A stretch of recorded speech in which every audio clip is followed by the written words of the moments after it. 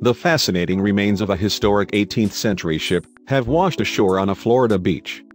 The 48-foot wooden hull of a gigantic shipwreck was discovered by Julie Turner and her son Patrick, 8, on Ponte Vedra Beach around 8 a.m. Tuesday.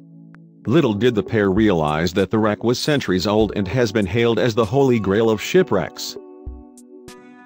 Researchers and maritime experts flocked to the wreckage site to glean as much backstory as they could from the ribs of the wooden hull. Experts speculate that the wreck may have laid under sand offshore for years, then washed onto the beach due to storm activity, explaining how the ship remained so well preserved.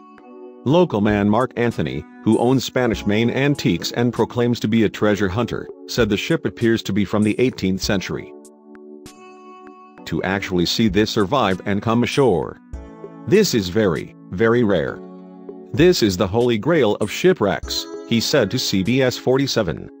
The wooden hull revealed copper-covered tack heads, evidence that the whole ship was originally sheathed in copper. Wooden pegs and nails were visible on the aged wooden beams as well.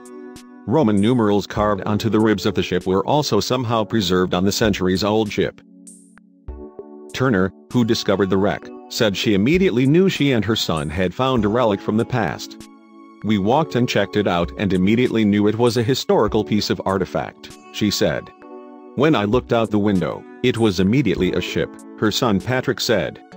Maritime experts on the site said, they had long waited for a wreck like this to wash ashore.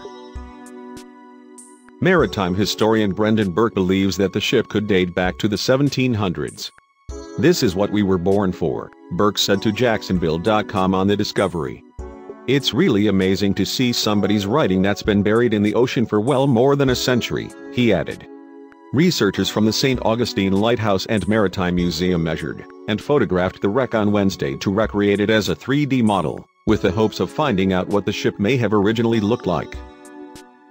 It is not yet clear what kind of ship the wreck once was.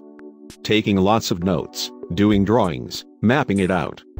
There are so many details that go into trying to assess the date, where it came from, Tanya Creamer of St. Augustine Lighthouse and Maritime Museum said to CBS 47.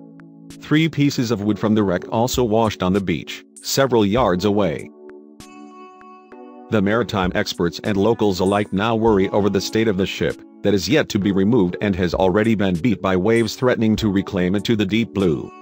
Creamer added, it is up to the state of Florida to determine the future of the historic shipwreck. This is state land, state beach area, so we just share our knowledge and our information, what we're documenting right now, with officials and it's up to them what to do next, she said.